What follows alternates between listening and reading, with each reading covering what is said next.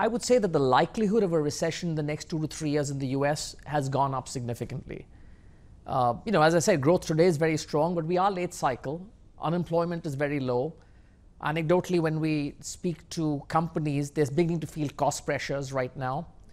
You know, in that environment, the Fed is going to be hiking rates to slow down the economy.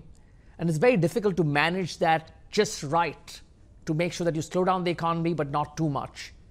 And then when you add to that concerns around or issues around the trade war, if they get sort of intensified, even if you don't have a trade war ultimately and things get settled down, but it does impact investor confidence, it impacts uh, company confidence, and it impacts consumer confidence. And that itself could sort of lead to that recession. So again, difficult to sort of you know pinpoint a time and say that it's a base case, but we would say that the likelihood of a recession the next couple of years has gone up significantly.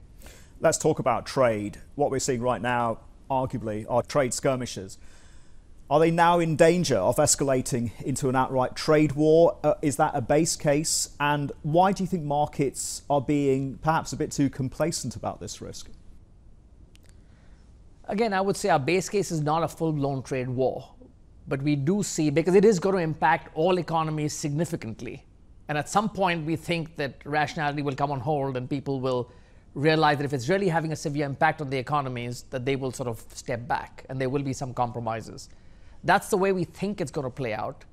But frankly, over the next few months, we see these tensions sort of continue.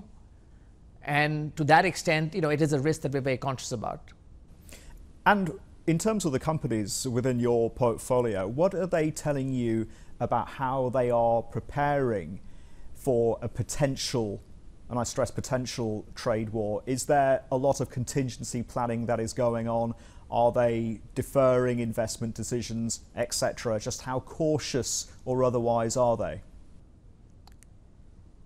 I would say not as yet in terms of consciously deferring investment decisions because growth has been quite strong. But there are concerns now, people are beginning to debate that. You know, how bad is this going to get? And does this sort of trigger a significant slowdown in the economy? And should I be reconsidering my investment decisions? So that discussion is going on right now. But I wouldn't say, at least, we are actively seeing uh, a pullback from our portfolio companies. Now, part of that may be because a lot of our companies are uh, if you take, for example, the large number of portfolio companies we have in Asia Pacific in emerging markets, the main theme that we've invested behind out there is rising EM affluence.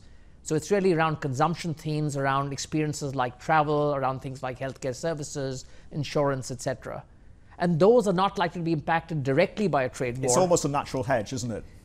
Yeah, well, if there's an overall slowdown in the economy, the global economy, everything will be impacted. But it's a second order impact. So because they're probably not feeling the first order impact, it's probably not impacting their investment decisions right now. Still watching? Perfect. Click here to watch another great video from CNBC International. Oh, and don't forget to subscribe. Thanks for watching.